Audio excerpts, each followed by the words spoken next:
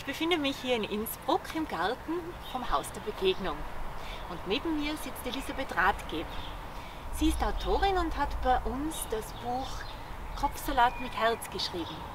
Elisabeth ist eine begeisterte Hobbygärtnerin. Und auch wenn es da im Haus der Begegnung, im Garten noch ein wenig zurückhaltend ist, der Rhododendron dahinter blüht noch nicht, merken wir, dass Frühjahr beginnt. Elisabeth, wie schaut es denn in deinem Garten aus?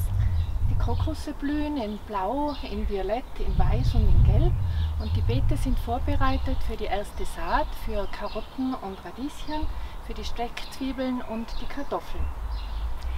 Der Garten ist ja für viele Menschen ein wichtiger Ort, wo sie kreativ sein können. Du schreibst in deinem Gartenbuch aber auch darüber, dass diese Arbeit meditativ ist. Was soll man sich denn darunter vorstellen? Für mich ist der Garten der ideale Ort für eine spirituelle Entdeckungsreise. Er gibt mir Boden unter den Füßen, hier fühle ich mich verwurzelt und geerdet. Zugleich ist er ein Ort der Ruhe und der Kraft. Ich fühle mich verbunden im Kreislauf der Natur und dem Geheimnis des Lebens, das dahinter steht, ganz nahe.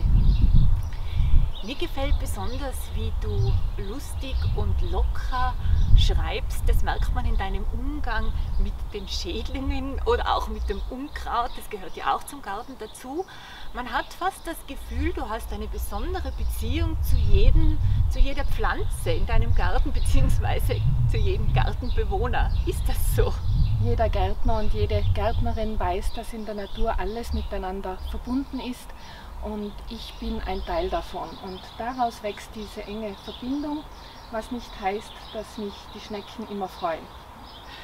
Noch eine Frage zu unserem Kopfsalat. Der war ja titelgebend. Es ist jetzt die Pflanzzeit.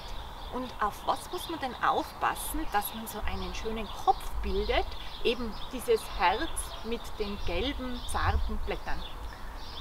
Der Salat darf nicht zu tief gepflanzt werden, dann macht er einen schönen Kopf. Das ist das ganze Geheimnis. Danke für das Gespräch und Ihnen, liebe Leserinnen und lieber Leser, viel Freude mit dem Gartenbuch von Elisabeth Rathgeb.